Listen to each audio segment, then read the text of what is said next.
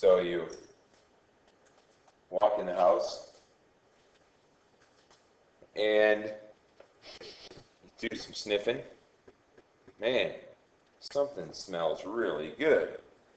And you sniff a little bit more and you realize you're smelling chocolate chip cookies.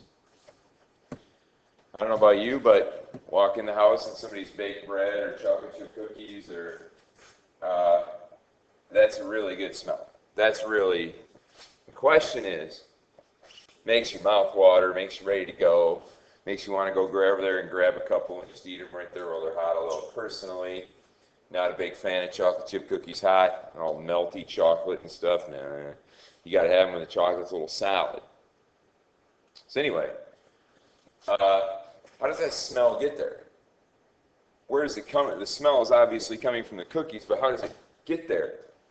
What is happening to get the smell there? And believe it or not, that uh, question relates directly, or the answer to that question is directly related to our topic for today. Whoops, sorry about that. Movement of molecules and the cell membrane. We're going to take a look at the cell membrane in detail, a little bit of detail, and then we're going to talk about five ways things get in and out of it, and I'll explain that in a minute. The cell membrane is called selectively permeable. Selectively permeable. The definition of that means that certain things get in and out, but not all things that the cell membrane sort of chooses what goes in and out. And I say sort of chooses because it doesn't really have a brain. And so making a choice is not something, a choice is a brain function, not a, our door doesn't choose what goes in and out of it. The door to the classroom, though, does help things get in and out. In other words, you and I can go in and out of the door. An elephant would not be able to go in and out of the door. It doesn't fit. So in that way, the doorway is sort of a selectively permeable entrance into the classroom, if you think about it that way. Cell membrane works in kind of the same way.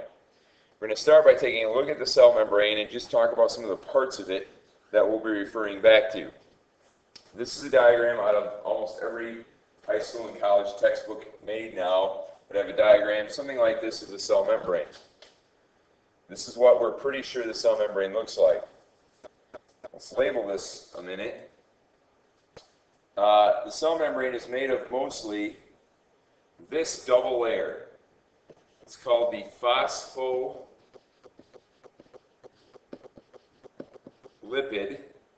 for phosphate and fat, phospholipid by layer for two layers. There's this layer of fat. You need to picture the cell membrane as sort of like a soap bubble.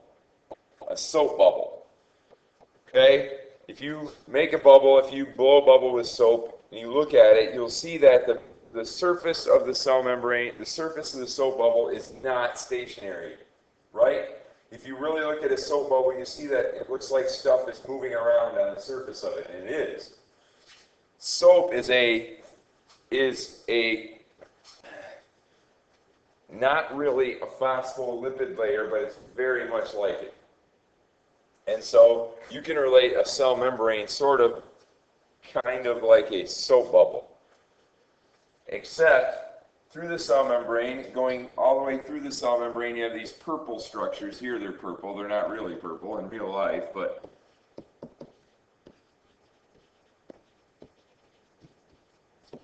They're proteins.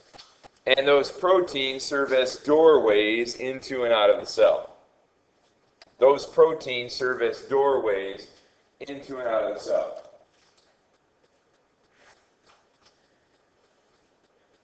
Also here on the surface of the cell membrane, you see these little structures here. Those are carbohydrate molecules.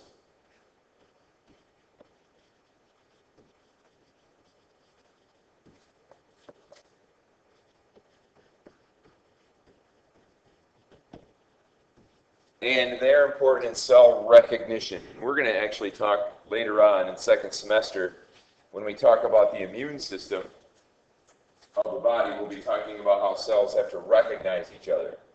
But uh, those are little carbohydrates that are attached to the surface of every cell. Those are the most important things on here. There's some other stuff, um, things that help cells hold each other together that we're really not going to talk about very much. We might deal with those in a lab or something in class, but we're not going to talk about those very much right now. Okay, so we have the phospholipid bilayer, we have the protein channels, and then later on we'll talk about those carbohydrate things. Now, again, you need to understand this. The cell membrane is not stationary. It's fluid. It's always moving. Okay, and this is a really important idea that a lot of people can ha sometimes have a hard time with. So, how do things get in and out of a cell? How do they get through that cell membrane? So it looks like it's pretty, I mean, if you look at your skin, it doesn't look like anything can get in and out of your cells, right? If you think of a cell, you think of it as like a wall, kind of. It's like this, this membrane around it is kind of like this walled off thing, but it's not. And you look at this classroom wall and you're like, well, nothing can get in and out, get through a wall. Sure it can. Sure it can. If you have a door, if you have a vent, things to get through there. You have to have ways to get through it, but you can. There are five ways things get in and out of cells. Way number one is something called diffusion. And what we're going to do uh, with this is we're going to just give you the basic definitions with notes, and then we're going to delve into these a little more deeper in class time. Okay, diffusion is the movement of molecules from an area of high concentration to an area of low concentration. The movement of molecules from an area of high concentration to an area of low concentration. What we call downhill. And if we think about chocolate chip cookies, for example, when you walk into a place that has just made chocolate chip cookies, you're getting the smell. But where is that smell coming from? it's coming from the cookies themselves, correct? And what's actually moving, what's actually moving, those are literally molecules of chocolate chip cookie. That's what you're smelling, molecules of chocolate chip cookie. If somebody were to pass gas in class, and maybe you've done it and you're hoping nobody smells else, and somebody's like, oh man, oh man, who did that? who did that? And you pretend that it was somebody else near you, or you don't say anything because you don't want everybody to know it was you. Okay? And you smell it first, and then you know because those molecules are actually going to move away from your rear end, and they're going to move out through the classroom. And somebody, especially the people that are close, are going to smell it. And we can talk later on about smell and why sometimes when people are far away, they don't smell it because molecules are at a lower concentration. The idea is, like say, here's our cookie. Molecules are being given off the cookie. Okay? Here is where the molecules are at the highest concentration. Now here is where they're at lower concentration, and molecules will move from high concentration to low concentration. Again, we'll take a look at this in some detail in class. We use the term downhill, high to low concentration. Important point, this requires no energy from the cell to do. Requires no energy of a cookie. Cookies don't have energy in and of themselves. The heat energy helps. Number two, something called osmosis. Osmosis is the movement of water molecules from an area of high concentration to low concentration or downhill. Again, I would encourage you, I'm going to I'm going to go to this one a minute, but I would encourage you to take the time oh, uh, to take the time to look at any hyperlinks that are attached to the uh, PowerPoints in the Moodle page. Again, this requires no energy input. Number three, something called facilitated diffusion. Now, before we do this, we already know what diffusion is. the movement of molecules from high to low concentration. The word facilitate, the word facilitate means to help. Helped diffusion, or the diffusion of molecules through those embedded proteins. We call that downhill. Molecules are moving, again, downhill. The diffusion of molecules through the protein channels. So we have our cell membrane and it has this protein channel in it. The only way certain molecules can get through there is if they go through those channels. Okay, they have to be helped through the cell membrane. They go through the channel. Why would that be? Well, certain molecules are too big. Now, the cell membrane is made up of those little phospholipid things, right? Well, there are molecules that are small enough to squeeze between there.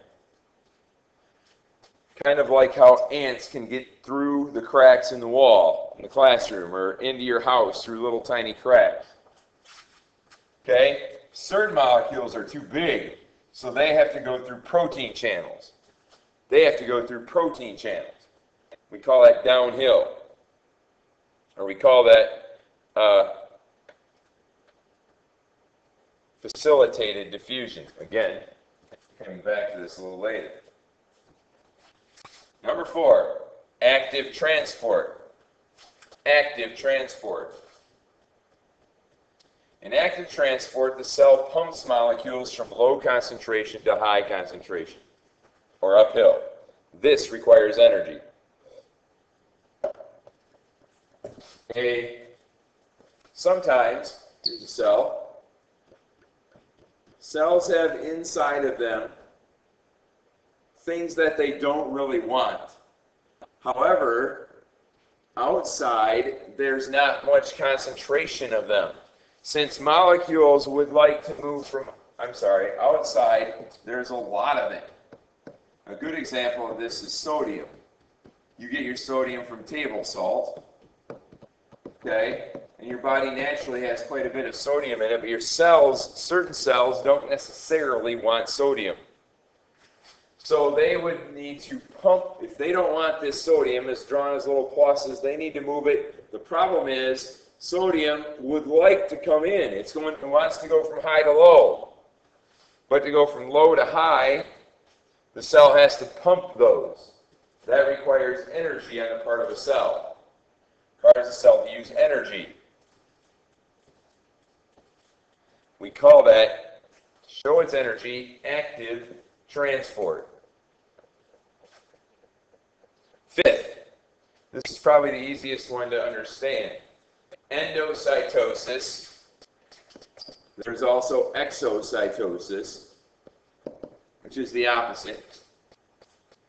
Is literally when cells eat particles too large to diffuse. When a cell eats particles that can't get in and out through the membrane. Certain cells, like white blood cells, are really good at this. White blood cells will eat bacteria for you. So, I can do a quick diagram of this. It's pretty easy to understand. Here's a cell, here's a particle. Cell particle.